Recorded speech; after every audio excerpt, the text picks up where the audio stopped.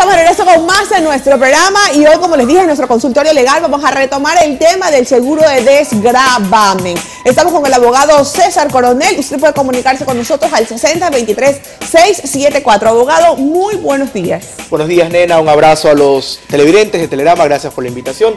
Un tema que de alguna manera generó muchas dudas en la semana anterior y que hoy vamos a tratar de seguir Así es. Hoy vamos a ampliarlo. Primero, abogado, ¿qué es el seguro de desgravamen? Para las personas que no lo saben. y escuchan y escuchan y escuchan, pero no saben qué es. El seguro de desgravamen es básicamente, para decirlo en palabras sencillas, un seguro que se activa para el pago de una obligación ante una circunstancia establecida previamente, que normalmente es la muerte del deudor, pero que también podría ser, por ejemplo, una incapacidad total por parte de ese deudor.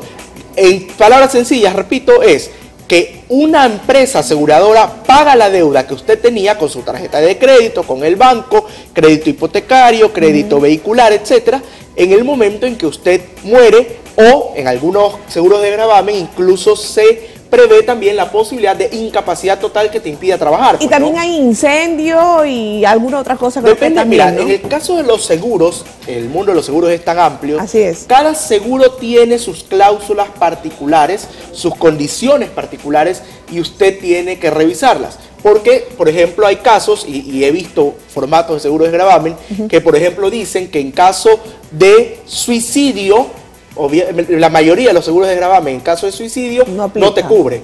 O hay casos en los que hablan de que por cierto tiempo, si tú eres víctima de la delincuencia, tampoco te cubre. O sea, tiene que usted revisar, por ello siempre la invitación de que revise las condiciones particulares del seguro que usted está tomando, cualquiera que este sea.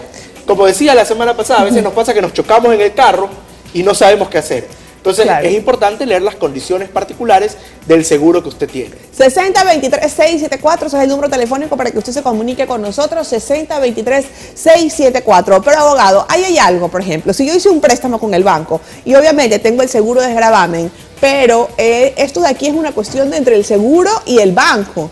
Yo no sé qué es lo que han arreglado entre ellos, o si me lo pueden dar esa información. Tienen que dártela. ¿Por qué? Porque ah, en el momento en que tú eres protegida por un seguro de desgravamen, esto significa que alguien firmó una póliza y ese alguien eres tú.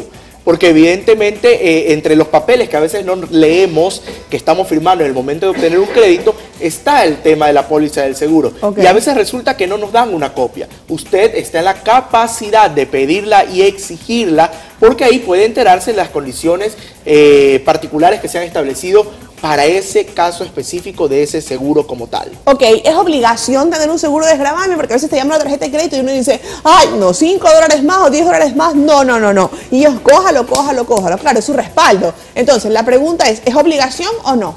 Excelente pregunta. No, no es obligatorio. Sin embargo, la mayoría de las instituciones del sistema financiero hoy por hoy ya no te prestan, ya no te entregan el dinero producto del préstamo si no tienes contratado un seguro de desgravamen. Además, es mi recomendación. Este seguro es un seguro donde nadie pierde, porque es un ganar-ganar, ya que el banco se protege en caso de un imprevisto como la muerte del deudor para que la deuda sea cubierta, como también el deudor se cubre y más que a, él, a sus deudos y familiares en caso de una desaparición, de una muerte, de, de, una incapacidad definitiva.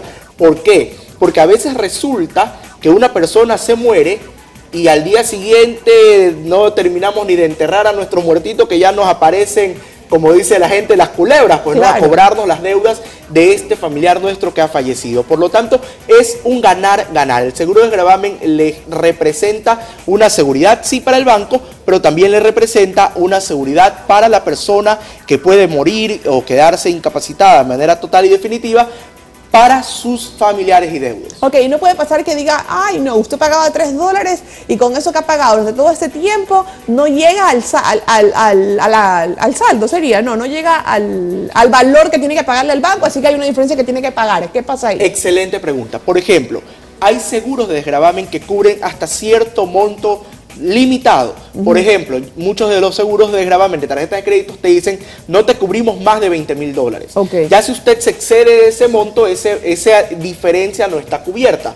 Pero repito, cada seguro cada tipo de seguro tiene amplias diferencias y condiciones particulares que usted tiene que revisar. Y obviamente entre las condiciones están estos periodos de, de, carencias, los valores, eh, los montos límites. O sea que sí puede pasar eso. Puede pasar.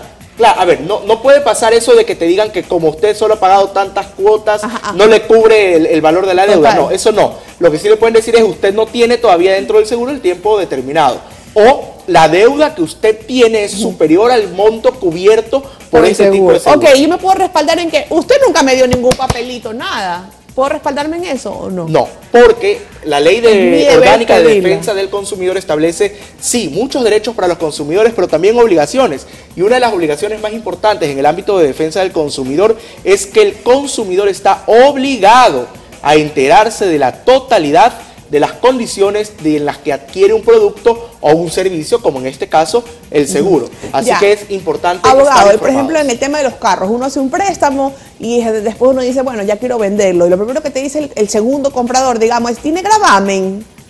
Ok, eso es otra cosa. A ver, cuéntame. El, gravamen es cualquier, eh, digamos, situación legal que pesa sobre el bien en el caso que estamos hablando de un vehículo, por ejemplo, un gravamen puede ser una prohibición de enajenar. Que un juez dijo, como usted tiene una deuda ah, eh, con, digamos, una institución pública, le vamos a poner una prohibición para que no pueda vender ese vehículo.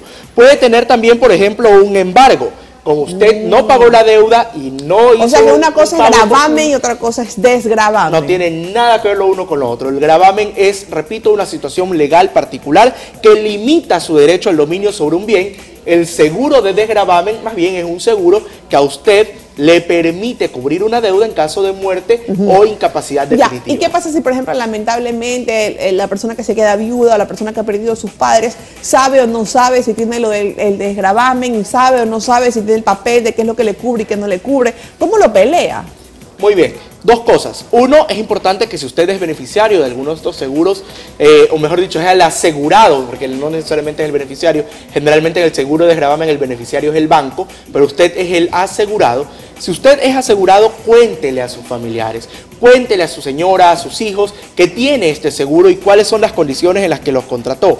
Además, si usted eh, llega a pasar que su familiar falleció y no le contó de este seguro o de las condiciones particulares, puede acudir a la institución del sistema financiero a exigir esta información, a pedirla o incluso saber cuál es la institución aseguradora para ir directamente ante esta entidad. Eso es, digamos, un derecho al que tiene usted acceso. Abogado, ¿y si hay cuotas pendientes? Se cubren. Obviamente las cuotas, mientras que no superen el límite que está establecido en el mismo seguro, se cubren totalmente por parte de la entidad aseguradora, que le paga, por eso, a ver, en este seguro de gravamen hay tres partes. La aseguradora, el que es obviamente la empresa aseguradora, el asegurado, que es la persona deudora, y el beneficiario, que es el banco. Okay. Entonces, inmediatamente que se activa la condición, por ejemplo, la muerte o incapacidad total del deudor, la aseguradora le paga directamente al beneficiario, que es el banco. y cubre la deuda hasta el límite en que haya firmado y contratado usted. Ya, y ahora, es escoger el desgravamen en cada una de las tarjetas, ¿no? Porque ya tengo en una, creo que se va a, hacer, se va a multiplicar en todas, Excelente pregunta y es un error que mucha gente comete. Cada deuda es diferente y cada deuda debe tener un seguro de desgravamen contratado. También puede pasar que si usted no tiene un seguro de gravamen con ninguna de las tarjetas que tiene, ni con el seguro del carro, ni con el seguro de la casa, que es casi imposible que suceda, pero digamos que en ese, en mundo paralelo llegara a pasar, usted puede ir a una aseguradora y ahí sí pedir un seguro para todas estas deudas que usted tiene pero por regla general el seguro de gravamen es particular por cada deuda. Está dentro de la cuota del préstamo que hiciste o de la, tarjeta de crédito. Por eso es importante. A veces he escuchado a mucha gente que erróneamente dice, ay, pero si nunca uso el seguro, ¿para qué voy a tener? Ay, ¿para qué voy a pagar si nunca lo uso? Uno nunca sabe lo que puede pasar. Eso es un respaldo que nos da la tranquilidad a nosotros y también a nuestros, familiares. Así es. Abogado.